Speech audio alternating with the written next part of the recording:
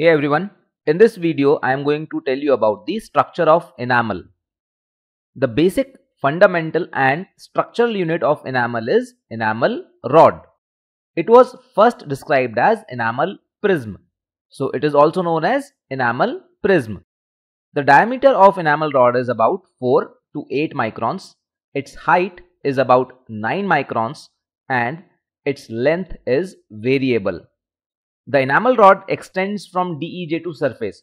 So we can say that the length of enamel rod is greater than the thickness of enamel since its course is wavy from DEJ to the surface.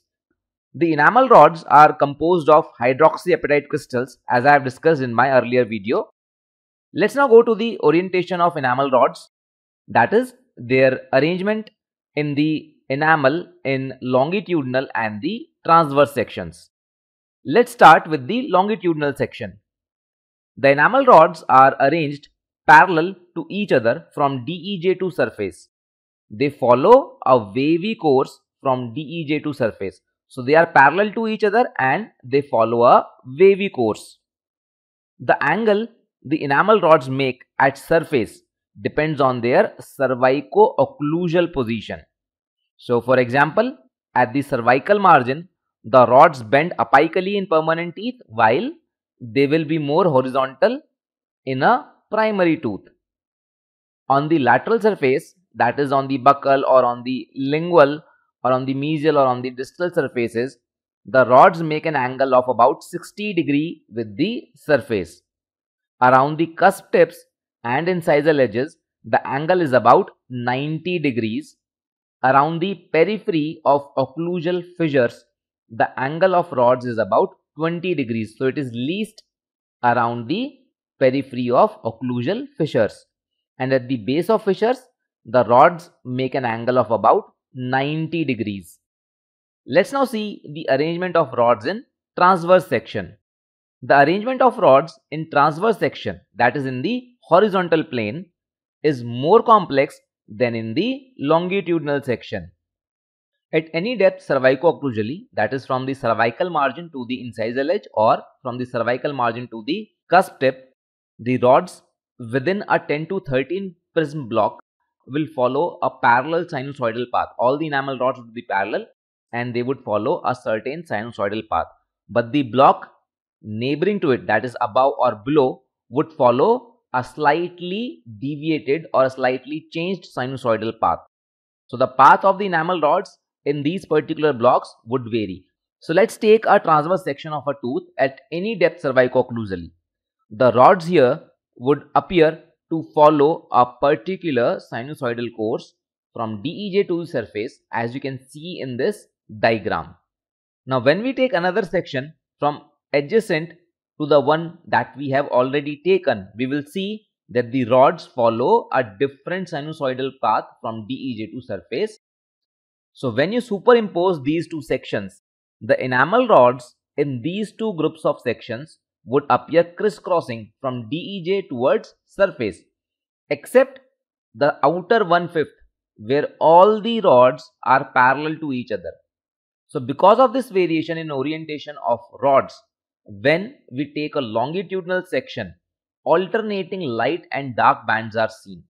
When we take a longitudinal section, one plane of rods would be cut more longitudinally, whereas the another plane of rods would be cut more transversely, right? So the group of rods that are transversely cut are called diazone and the group of rods that are longitudinally cut are called parazone. The alternating light and dark bands appearance is described as Hunter and Schreger bands. The Hunter-Schreger bands are seen in longitudinal ground sections only and this feature may be seen in both reflected as well as transmitted lights.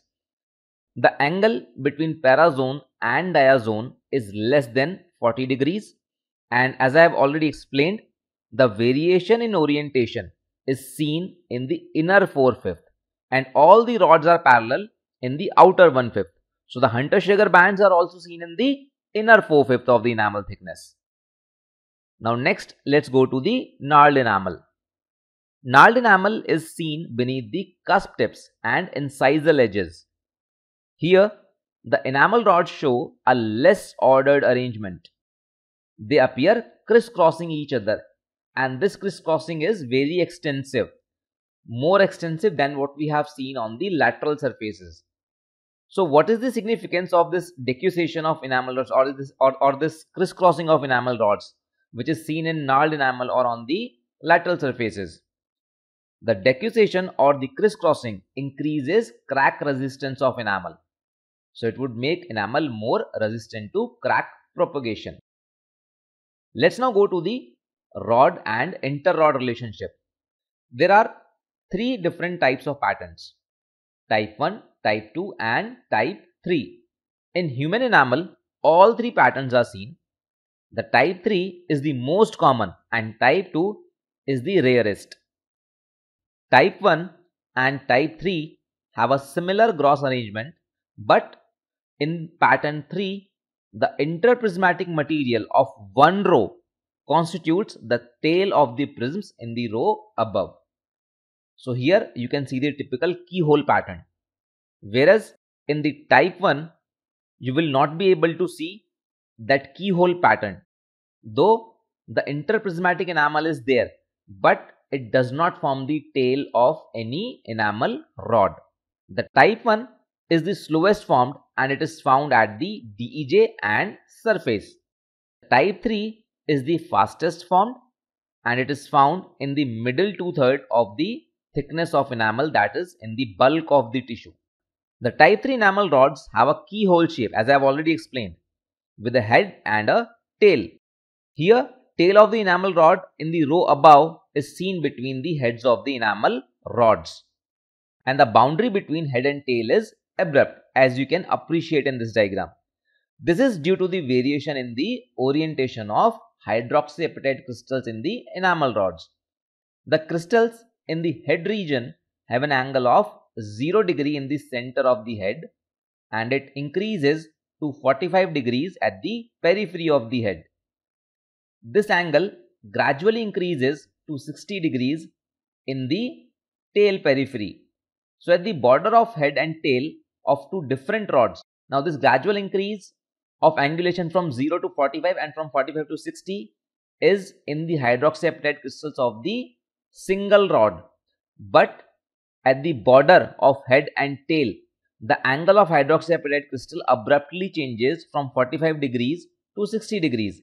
And that is the reason why we see a discernible border between a tail and a head of two different rods. So that's all for now. I hope this video was helpful. Uh, I'll see you soon again uh, with another video on the remaining structures of enamel. Thank you.